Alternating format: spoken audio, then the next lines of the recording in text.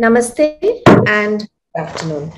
Welcome to today's Facebook session presented by Apollo Hospitals on the occasion of World Hepatitis Day. Dr. Srinidhi Chidambaram here.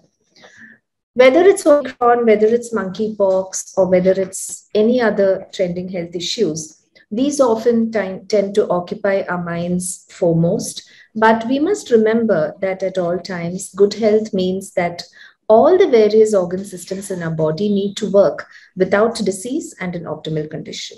So it's important to look at our body and all the organ systems as a whole and take care of ourselves, understand about various kinds of diseases that can affect the body, and also learn how to prevent them and also how to seek medical help.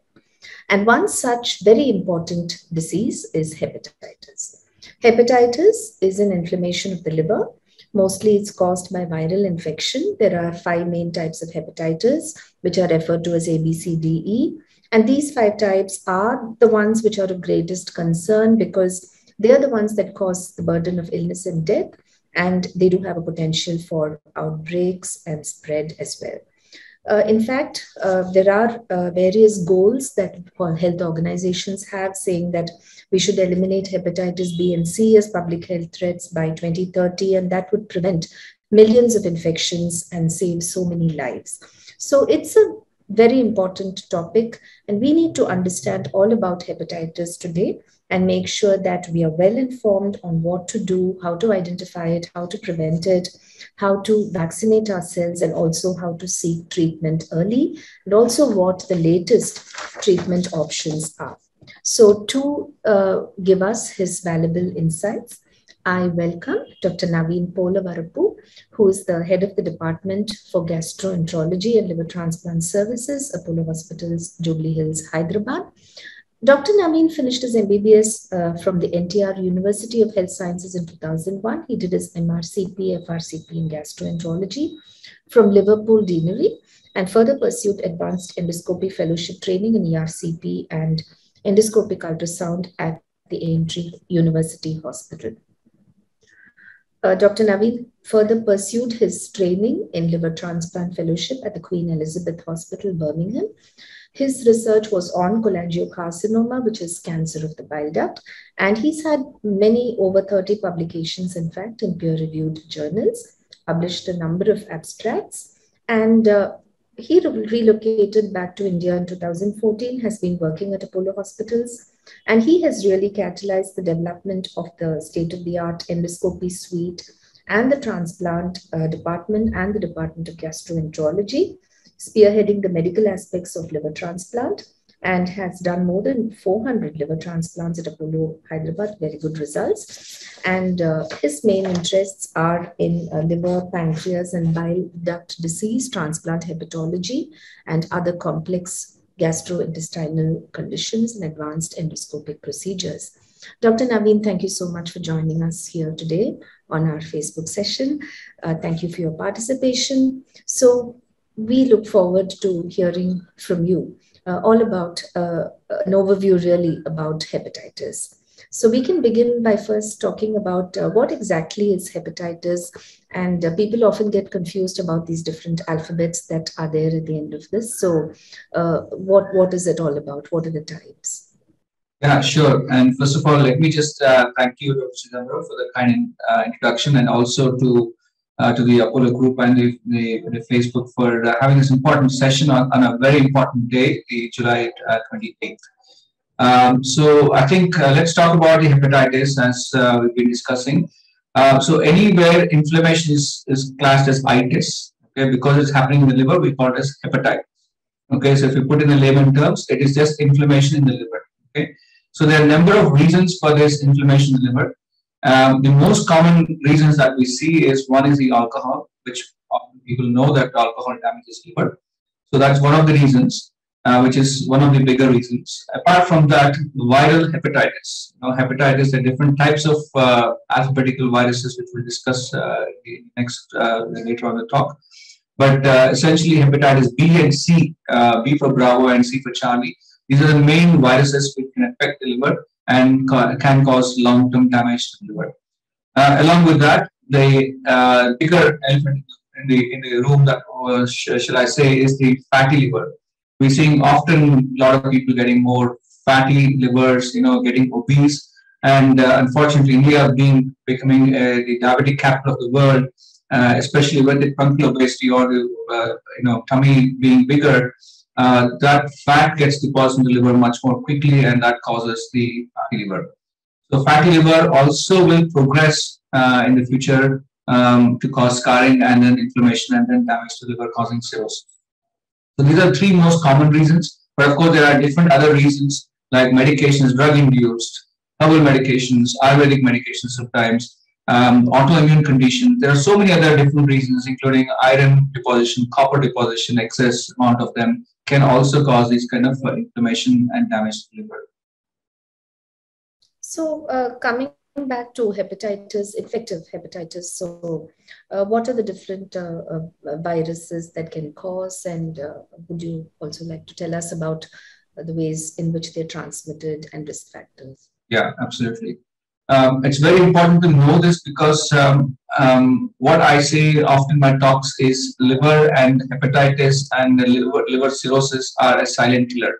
Unless we actually um, uh, check it regularly, we would not know if they have the viruses. Okay, and often the patients come with symptoms, it's already too advanced. You know, um, the already cirrhosis has set in, and they would have developed all the complications from cirrhosis is when people set in. That's why it's important to know that we always should be checking regularly for these viruses. Now, coming to what type of viruses we have, uh, so far, science have detected or discovered uh, five different types of viruses in hepatitis. Hepatitis starts from alphabetical A, B, C, D, and E. But of course, there are also, along with these five viruses, there are other viruses uh, which can also cause uh, viral hepatitis. But commonly, we talk about these type of viruses. Now, to make it easy, I think we should class these viruses based on the route of transmission and how, in terms of you know, how it affected uh, long-term damage to liver. For example, hepatitis A and E, so A for alpha and E for echo, generally transmitted because of any food poisoning. Okay, so you acquire this virus through food poisoning or water contamination or food contamination. The virus goes and sets in the liver. It causes inflammation to the liver and causes jaundice, weakness, tiredness, and sometimes diarrhea. Now, most of these uh, hepatitis A virus and E virus infections are self-limiting infections. They do settle down by themselves. Very, very rarely, the disease can progress, inflammation progresses to cause damage or necrosis to the liver or tissue cell death, um, and then causes uh, acute liver failures. But that proportion is very rare. Most of the acute uh, hep A or hepatitis A and E infections, they settle down by themselves but of course, you need to be under the liver specialist or a gastroenterologist you can carefully monitor that the, the jaundice or bilirubin is peaking and it is coming down rather than going up and causing. Okay, so that's what about hepatitis A and B. The hepatitis B and C are transmitted predominantly through blood to blood contacts.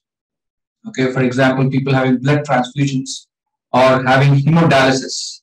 You know, people who are on you know dialysis machines you know, uh, contaminated hemodialysis that you can get hepatitis B and C through that. Um, and also needle share, uh, sharing, you know, uh, using the same needles for injections, drug abuse, IV drug abuse, intravenous drug abuse. These are the common other routes of transmission that we see for both hepatitis B and C. So it's mainly blood-to-blood contact. Uh, of course, in hepatitis B, there's also risk of transmission through sexual transmission. So somebody who's got hepatitis B and um, you know have a uh, unprotected sex, they can transmit the virus to the, to the other person. The third important way uh, route of transmission, particularly for hepatitis B, is a vertical transmission, or from the mother to the baby. In fact, if you look at the Chinese population, this disease is very common or very rampant in that in that area. That's primarily because of vertical transmission from mother to baby. And as I said from the start, these viruses are silent killers. Nobody knows whether they have virus or not unless they get it checked. In fact, the WHO or World Health Organization estimated that um, in the current population, there is around 2 billion people who are being infected with hepatitis B and C. So in other words, 2 billion is more than the Indian population. So Indian population is roughly 1.3 billion. So we're talking about much bigger than that uh, population which are infected with hepatitis B Yet all these patients do not know, these people do not know that they have hepatitis B and C.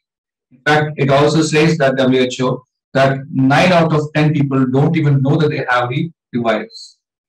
And so imagine this virus is spreading around. We don't know that we have the virus or they are infected virus. And you know, there are so many ways that people can get exposed to these viruses. And as I said, it can get transmitted to blood-to-blood contact as well.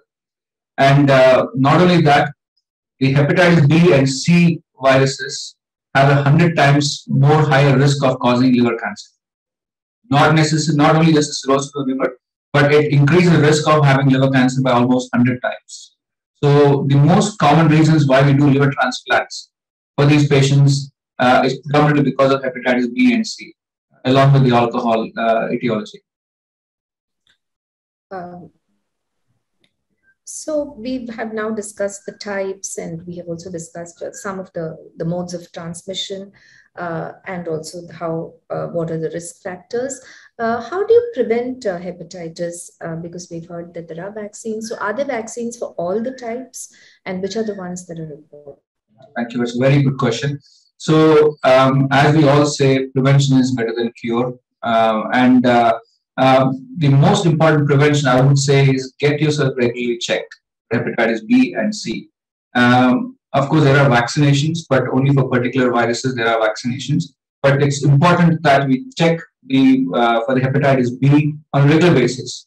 Okay, so hepatitis B and C is just a simple blood test that we can check it. Along with that, you know, in a master health check or in any kind of routine health check, can incorporate hepatitis B and uh, B and C. Coming to the uh, prevention aspect, one is, as I said, detecting early is one part of preventing uh, the virus or not progressing towards having liver cirrhosis. Number two, number two is um, there are vaccinations for particular viruses like hepatitis A and B have got vaccinations. So, uh, in fact, the uh, uh ch ch children born after you know uh, 2000, they all get universally vaccinated in their childhood, newborn babies. So most of the most of these people kids are protected from hepatitis B because they, they get vaccinated. Uh, and hepatitis A, there are vaccinations which are available. So we can prevent the infections by getting this vaccination. For hepatitis C, there are no vaccinations available yet in the market uh, in the world. However, hepatitis C treatment has been revolutionized uh, lately. Uh, so people who previously had hepatitis C infection, C for Charlie, uh, we used to have very, you know, horrible medications. Had to give injections with a lot of side effects, with very little response. But nowadays, with hepatitis C, we got such a brilliant medications. We just need to take one tablet a day for about 12 weeks or three months, and we can completely eradicate the virus. What is more important is people to come forward to get themselves checked for these viruses because there are excellent treatments available. And as I said earlier, that if we don't uh, detect these viruses, we don't treat these viruses, your risk of liver cancer increases by 100 times, and you also have a risk of developing cirrhosis and all the complications. So this is something which is in our hands, which we can treat, which we can prevent from any further complications. And don't forget, liver is a big chemical factory. It does more than 500 to 600 different functions.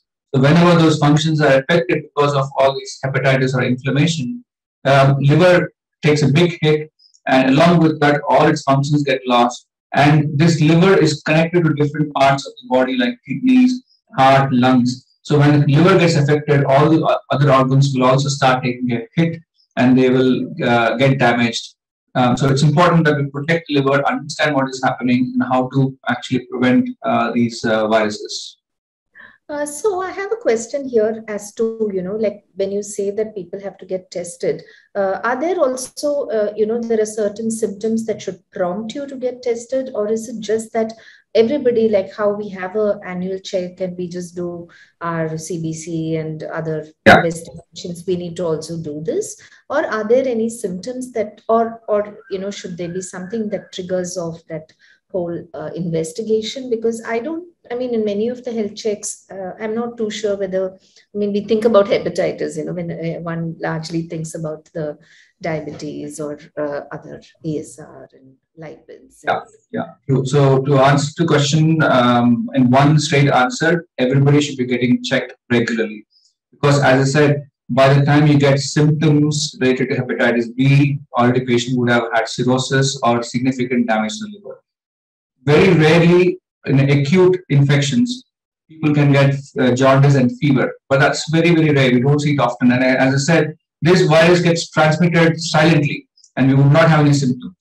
So we would be a lot of times, about 70 to 80 percent of times, would miss that the patient has been infected already with hepatitis uh, because they don't have symptoms. So about 15 20 percent will develop jaundice and other symptoms. So it's so to answer the question, everybody every year should get checked for hepatitis uh, B and B and C so that we can treat those diseases. There are excellent treatments available for those uh, for those conditions.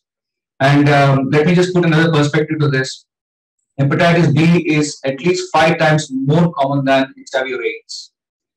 And uh, you know, we talk about HIV and AIDS so many times. You know, time and again we discuss about HIV, but hepatitis B is at least five times more common and more infective than hepatitis uh, than HIV. So you can imagine the, the extent or the the scale of the uh, the problem that we have with hepatitis uh, hepatitis B. Uh, and also in India, do we have, I mean, like in a sense, is there one particular type which is more common or what, what is the uh, uh, prevalence in India yeah. of these various types? Yeah, so both hepatitis B and C are, are common in India, but uh, there is a variation in terms of north and south to a certain extent. Um, hepatitis C we see more often in the, in the north part of the India, and hepatitis B we see more often in the, in, in the southern part. But what we realized is there are pockets of extensive, you know, or significant incidence or prevalence of the hepatitis B in certain areas. Uh, we, uh, as part of the Save the Liver Foundation program, uh, we, uh, we, did uh, mass um, campaigning and testing for the hepatitis B. And both in, in fact, not both, where Andhra Pradesh um, and also Telangana, um, Bangalore, the Karnataka area, and also part of Tamil Nadu. Those four states we did uh, the mass campaigning and we checked uh, for this hepatitis B. We, we tested about one lakh population uh, at that time. And there are pockets where the infection of hepatitis B is almost in the, in the, in the tune of 10%. So out of 100 people, 10 of those people are infected with hepatitis B. So it's a quite high number. So there are pockets of very high prevalence areas in certain areas. And um, I mean, I can quote a, a patient who um, you know, he came with having liver cancer, and we checked back uh, why he developed liver cancer. Young guy who got a hepatitis B-related cancer, liver cancer, and we checked his his uh, mother had uh, liver died of liver cancer.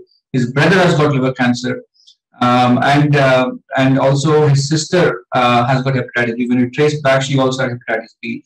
And um, in that, not just in the family, in that we checked their their, their and a uh, few of the other people also had hepatitis B. So it is prevalent. We just had to identify these pockets, and I think that is why it's important that you know uh, government-led programs are very important. So that is the reason why the World Health Organization has created the July 28th as a World Hepatitis Day, so that all of us, uh, public, the medical fraternity, and the organizations, including the central government and the state government, work together um, uh, so that the unified goal of identifying these people so that we can prevent these diseases. We can prevent from progressing towards cirrhosis. So uh, that's why it's important to uh, make uh, you know government also a part of this program, um, so that we can uh, you know we, uh, it it it it, it, it, it feels sad to me that you know there's so much importance uh, has been given to HIV, but yet not to hepatitis B, which is five times more common. So I'm not dis- disputing that HIV should not get importance. Of course, yes, definitely, but this should also get equal uh, response uh, rate for them to actually work on the diseases. So, what would your advice be for pregnant women? I mean, I know that uh, I think in antenatal checkups they do check for hepatitis B, yeah. but what what what should pregnant women or people about to get pregnant uh, be aware of? Yeah, very important question. And as I said earlier, the mother to baby transmission uh, of hepatitis B is very high, almost in the tune of 80 to 90 percent. So there's a high chance that the baby will get the infection if the mother has got very high viral load or if she's infected. So what we look at is whenever we see a mother being uh, pregnant and she's got hepatitis B, we check the viral load to see how high the viral load is and how much damage has happened to the liver. So we check it at the time when she's detected, and we also check it about 28 to 32 weeks uh, of pregnancy. If at that time the viral load is very high, then we'll start them on medications, the antiviral medications, which is just a tablet, once daily tablet, to reduce the viral load. The idea is by the time of the delivery, if the viral load is not detectable or very low in count, the risk of transmission to the baby will be markedly reduced. Along with that, as soon as the baby is born, we give them immunoglobulins or like a soldiers to protect this hepatitis B. So because invariably at the time of delivery, whether it is a normal natural vaginal delivery or whether it is a cesarean delivery, they will the baby will get exposed to the hepatitis B uh, virus during the process of the delivery. Um, so they will get exposed to hepatitis B. So you should be giving immunoglobulins to them or the soldiers so that we can protect that, uh, you know, fight that infection uh, instantaneously. Along with that, they should also get the universal vaccination program. So it's a three-stage process. So you reduce the viral load of the mother by giving medications if they're very high. You, uh, whatever the mode of delivery is, you should give immunoglobulins to the baby straight away or the injections, and then you also carry on with giving vaccination, uh, hepatitis B vaccination. So, as a final question, uh, unless you'd like to add something more, I just wanted to ask you, uh, apart from you know the vaccines and the regular screening, uh, what are the other preventive measures that people can take to so that they don't get these hepatitis infections? Yeah. So, uh, as we said earlier, it's always a blood-to-blood transmission that happens with hepatitis B and C. Um, so, always whenever you go to, for example, men who go to barber shops make sure that you use a clean uh, um, shave or you know you don't transmit or use uh, shade uh, razors or and stuff like that. Um, there should not be any, any source or chance of having a blood to blood contact so making sure that you use a clean razor you don't uh, use inject uh, injection needles you don't uh, share the needles um, you don't share the brushes uh, because sometimes you can have bleeding gums and then and then it gets transmitted when you use say another person uses the same brush. So you have to make sure that there is no blood-to-blood contact. Um, uh, uh, that would minimize your risk of transmission. And again, as I said, regularly please get yourself checked. And more important than that, hepatitis B, there are vaccinations are available. So uh, all the high-risk people like the uh, medical staff, the nursing staff, we all are universally, we all get vaccinated. But what I think is important is just not those people. Everybody in the world, every person in the world should be vaccinated um, so that we can prevent this uh, virus or them getting the virus. Everybody, you know, we that this is where I think the media, the, the government will play a bigger role to yeah. educate people, sensitize them that everybody should be get should get vaccinated. It's not just the people who uh, who are in the high risk population that they should be vaccinated. Everybody in the world are, we should treat them as high risk and we should get them vaccinated. Absolutely. Uh, is there anything else that you'd like to add? Um, yeah, well, a couple of things. I mean, um, uh, we, we discussed most of it, uh, but very important message that I want to uh, get across to, uh, to, everyone on this special day is uh, um, is please get yourself checked regularly for hepatitis B and C.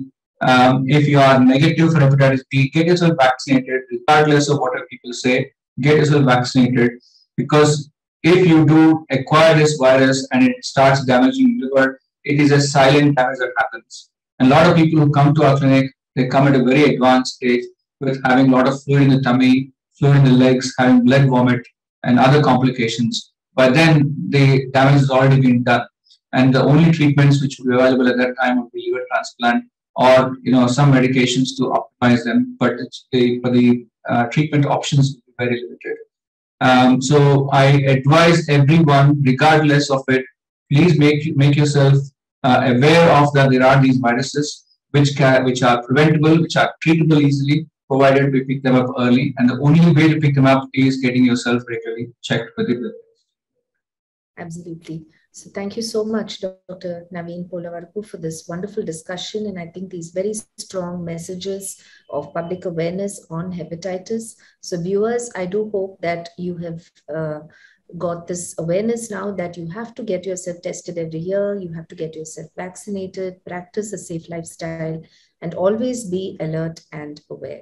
World Hepatitis Day takes place every year on 28th July, bringing the world together under the single theme of raising awareness so that the global burden of viral hepatitis comes down and to influence real change. So the theme is I can't wait.